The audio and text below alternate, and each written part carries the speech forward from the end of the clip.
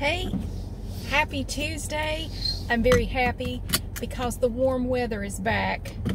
Now, I'm still using my old phone, so when I take off from this parking lot, it's to look like we're having an earthquake, but we're not. Um, my phone is just shaky as hell now. It what? It didn't used to be. And I'll tell you what, after the last update, the little updates they make you do on your phone after that last update, my phone now acts like it has Parkinson's disease. It just shakes all the time. And I don't mean anything against Parkinson's disease, actually. Both of my grandfathers had Parkinson's, and I'm over explaining my apology, but you know what I'm saying. Shaking, shaking, shaking, shaking. Shimmying and shaking all over the place. Anyway, I've got my new phone, but still trying to sort all that out. Plus, I do, I've ordered a case and a screen protector, but they have not come yet. Hopefully they'll be here in the next day or so. And until I have a case and a screen protector on it, I really don't want to use it. You know, because I know my luck. I'm not one to go around dropping my phone, but I promise you, if I don't have a screen protector and a case on it, I'll drop it. I will look at it wrong and it will fall on the floor and probably burst into flames. I don't know. It would shatter into a thousand pieces because that's just the luck I have. So anyway, I did take it out today to test out the camera. I had an idea for a video this morning. I thought it would be fun to go to the baking aisle. I say bacon, but it sounds like I'm saying B-A-C-O-N. The, like, y'all have an aisle for bacon? Well, kinda. You go over to the refrigerated meats and little bacon aisle over there. But, um, damn, it's hot in here. I, am not complaining. I love this weather. I, I hate the cold. This is great. It's 82 outside right now. I'm in a tank top. I'm happy as a clam. So I thought it would be fun to take that phone and test it out on the baking aisle, looking at things like cake mixes and, you know, I don't know, brownie mixes and all the sweets and all the icings and I don't know, just whatever I could find on the baking aisle. So I spent about 40 minutes over there this morning with my new phone, but I'm handling it like a newborn baby. Like I am being so careful with this phone. I'm cradling it with both hands. I'm holding it ever so gently yet firmly the entire time. By the time I got done, my hand was like a claw. Like I couldn't, it took me a little bit to get my fingers back to where they work because I had held them like this for 40 some minutes, holding that phone in a, in a very delicate but firm death grip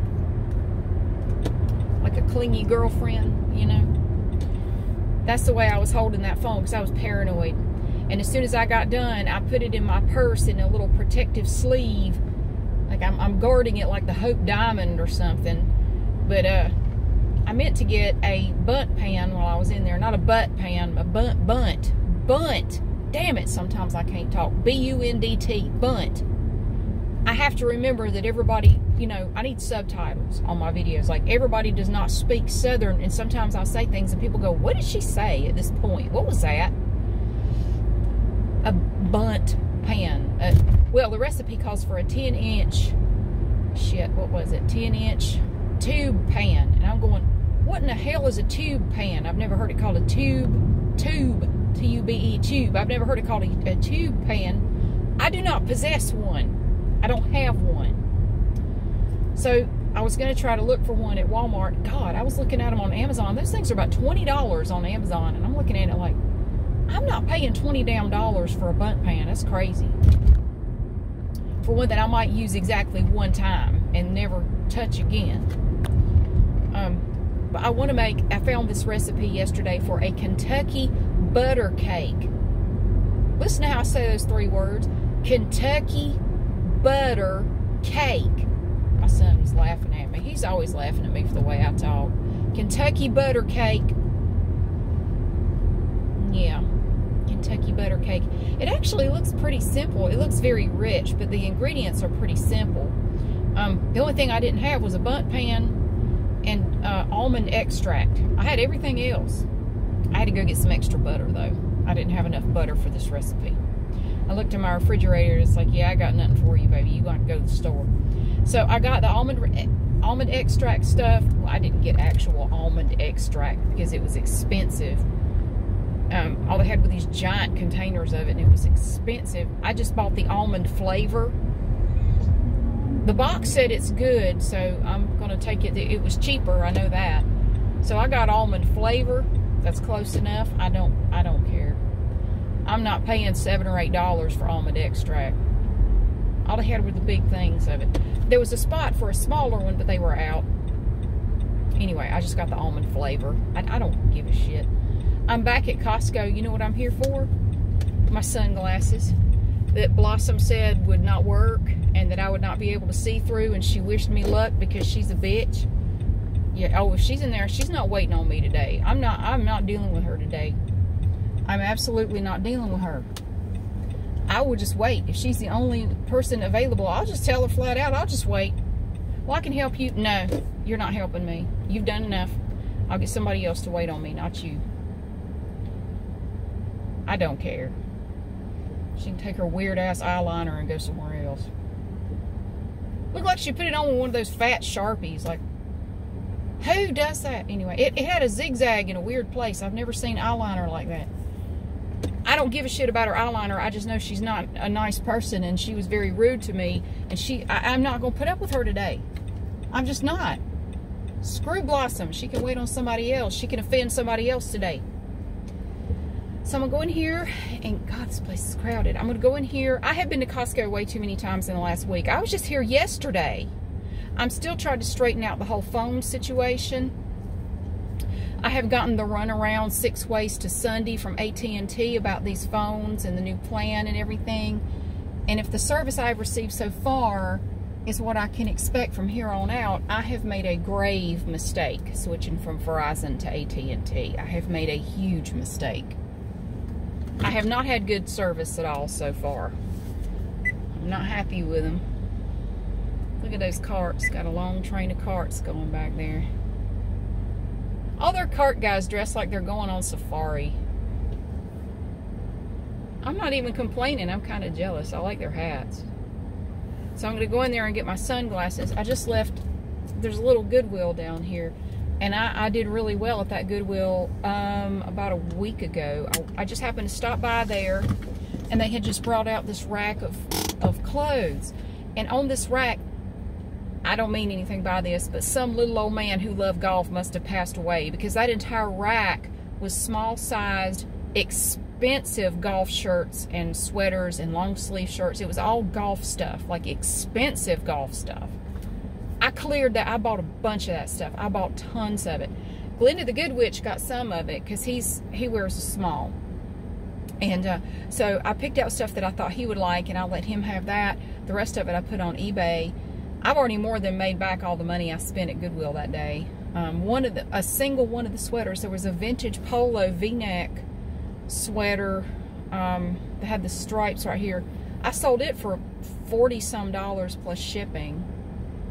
And I've sold a bunch of the other things too. So yeah, that was fun. And normally I don't have good luck in that Goodwill. So I was really happy to find a whole rack of stuff come out all at once. And I bought a whole bunch of stuff. There was Nike Golf, Callaway, um, Under Armour, North Face, Polo. I mean, just tons of stuff. All these things. And a lot, a lot of it was like golf kind of stuff. Not all of it, but a lot of it was golf stuff. And I know from that trip to Golf Galaxy that that stuff is expensive. And probably a lot of it came from that Golf Galaxy that's right over here. And sometimes I feel kind of bad because I'm looking through the clothes on the rack and it's like, somebody died. That's the that's the only explanation for all this stuff being here. Somebody passed. They either passed away, or they just gained a bunch of weight, or lost a bunch of weight, and got rid of these clothes that don't fit them now. I'm hoping that it was just a, a weight thing and that they didn't die. Sometimes I'm looking at it going, somebody's Meemaw died and they're cleaning out her closet. Oh. Because you'll just have a wide variety of stuff. And maybe, that, I know that's not it all the time, but you know, you know, by just by chance, sometimes that's what it is. So I thought I could recreate my experience. I went in there. I didn't find a lot. Um, I found a really nice men's Columbia jacket that I'm going to offer to Glenda the Good Witch. He has three teenage boys, and they're always, you know, they like they like stuff like that. And they're different sizes, so I thought this jacket will fit at least one of them. It's too big for him, but it would. I bet it'd fit at least one of his kids. Um, I'm always looking for stuff for people, and I found for me, I found four Under Armour tank tops, really super cute. They were $4.49 each minus my 15% discount. I got the jacket for 15% off too because I have the little card that you pay for once a year and you get 15% off pretty much everything in the store every time you go. What else did I get? I got a really nice North Face hoodie for myself. Um, and I think that's it. No, I bought a pair of shoes to put on eBay.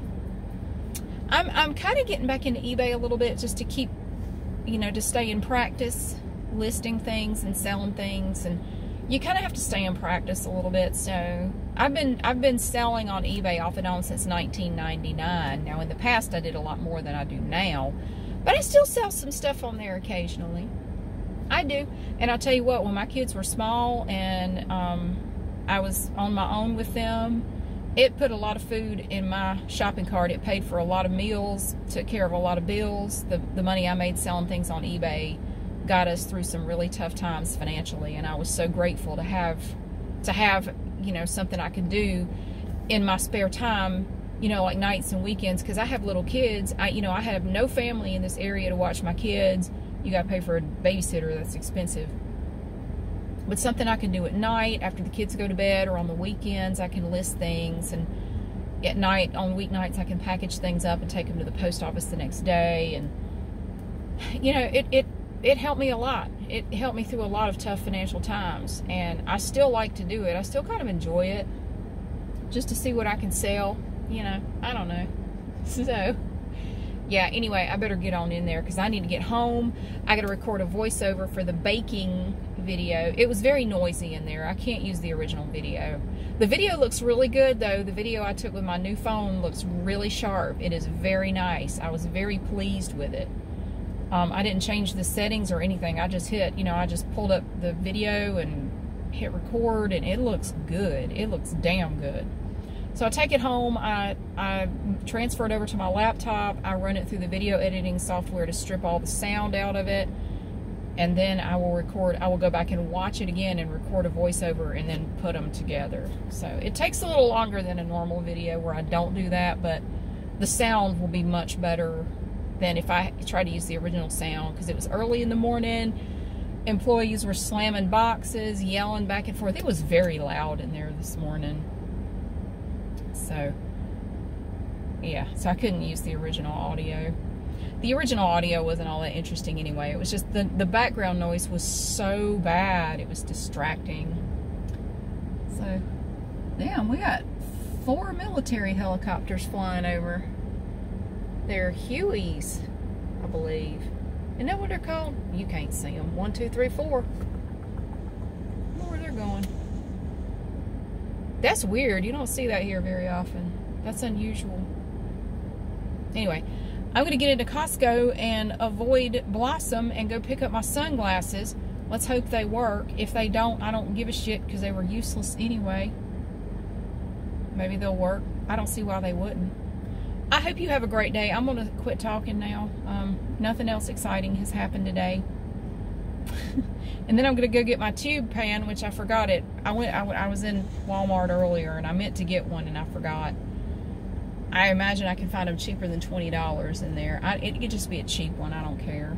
I just need a 10-inch tube pan for this butter cake I want to make.